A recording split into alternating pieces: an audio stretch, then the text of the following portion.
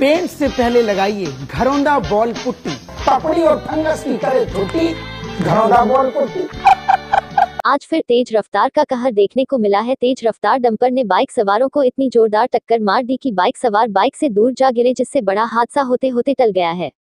बताया जा रहा है कि औरैया से जालौन की ओर जा रहा डंपर अप 93 बीटी 8309 निकल रहा था, तभी कुठौन थाना क्षेत्र के दौन निवासी शैलेंद्र कुमार आनंद कुमार अपनी बहन के साथ जालौन की ओर जा रहे थे, जैसे ही वह दौन से संकट मोचन के आगे निकले थे कि तभी पीछे से आ रहे तेज रफ्तार डंपर ने टक्कर मार दी जिससे बाइक सवार सभी लोग गिर गए। इतना रफ्तार था कि बाइक को घसीटता हुआ ले गया। बताया जा रहा है कि शैलेंद्र को ज़्यादा चोट नहीं आई है, जबकि आनंद का पैर फ्रैक्चर बताया जा रहा है और पीछे बैठी उनकी बहन को भी चोटें आई हुई है। सूचना मिलते ही मौके पर पहुँचे हदरुख चौकी प्रभारी गोकुल सिंह ने ट्रक को कब्जे में लिया और एंबुलेंस की सहायता से घायलों को चिकित्सा के लिए भेजा।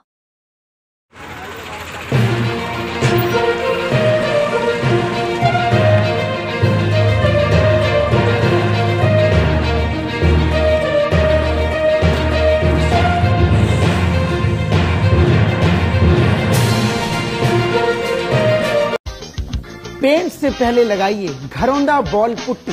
पपड़ी और फंगस की करे छोटी घरौंदा बॉल पुट्टी।